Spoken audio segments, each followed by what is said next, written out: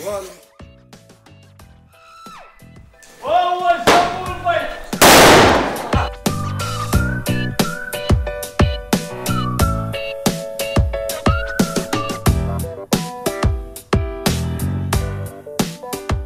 كيديروا ديرونجمون الناس كيكونوا عائلات هكا مجموعين. انت كتسمع واحد انفجار على خفه يعني أنا ضد هذه الظاهرة. يعني خايبا كيكون واحد مريض ناعسه يعني حتى تفزعي أو تما غاده في الزنقه انت غاده ما رداش البال حتى يفرقعوه مره كتفزعي.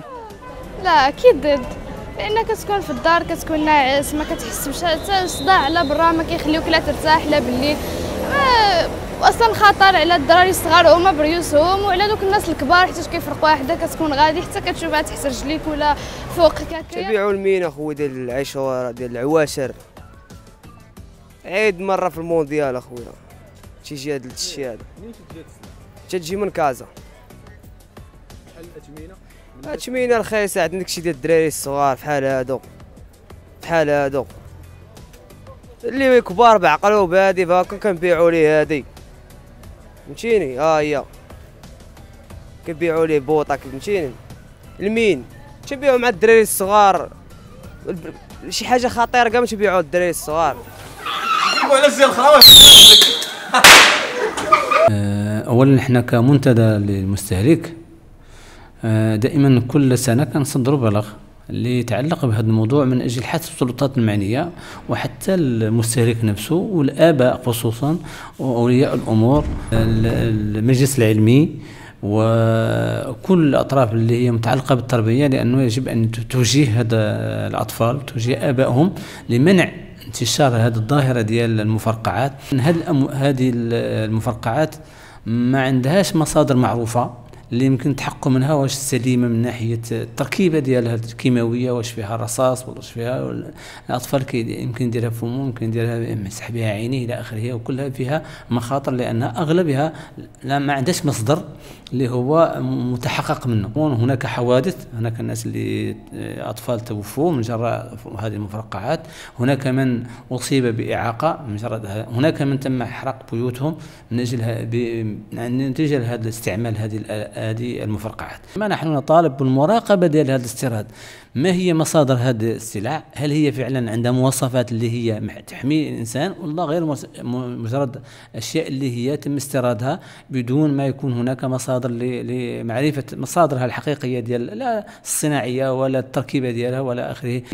هل هذه السلع هذه المواد التي يتم استيرادها هل هي خاضعة لهذه المعايير أو فيها توجد فيها هذه المعايير أم لا؟ هذا هو السؤال اللي نطرحه على اللجنة اللي كتكلف بمراقبه الاستيراد اللي هي مكونة من لونسا مكونة من وزارة التجارة والصناعة من الجمارك من مجموعة من الأطراف اللي هي توجد في الموانئ توجد في المطارات توجد على الحدود. وبالتالي هم عليهم أن يراقبوا هذه المواد.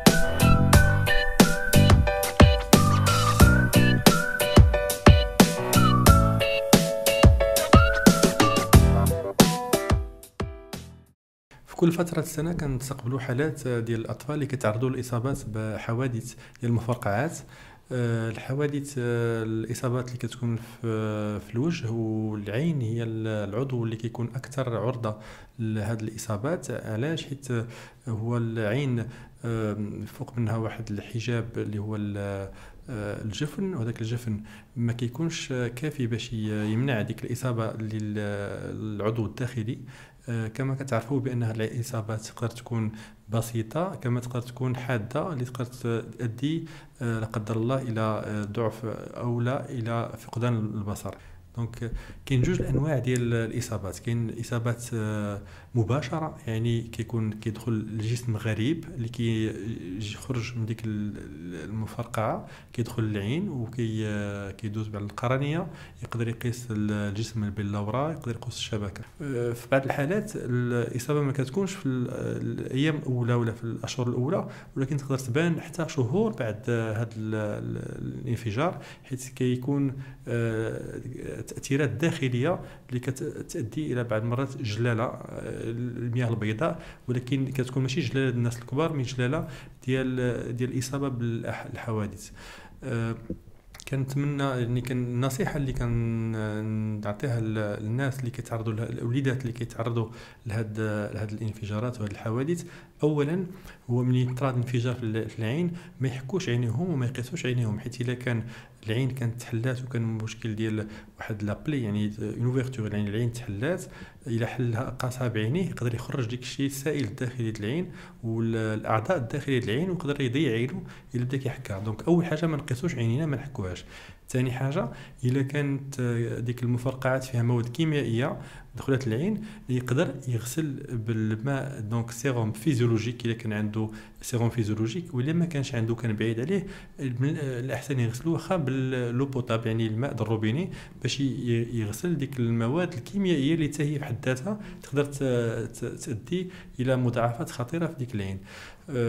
ثاني أه حاجة يقدر إذا كان بعيد على الطبيب ياخذ un antibiotique collyre يعني قطرات antibiotique بيد يمشي عند الطبيب ويدير ضمادات يعني يسد العين بيد يمشي عند الطبيب. الطبيب خصو يشوفو في الست أه ساعات الأول الأولى باش يدير واحد الكشف ويدير جرد على جميع الأضرار اللي قاست العين ومن بعد داك الشيء يقدر يدير جراحة أه اللي تقدر تكون جراحة معقدة على حسب نوعية الإصابة.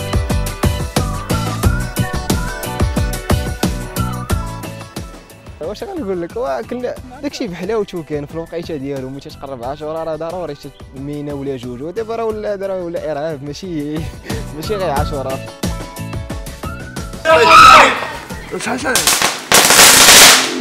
قبل ما تخرجوا ما تنسوش تابوناو في لاشين يوتيوب وبارطاجيو الفيديو مع أصحابكم في مواقع التواصل الاجتماعي.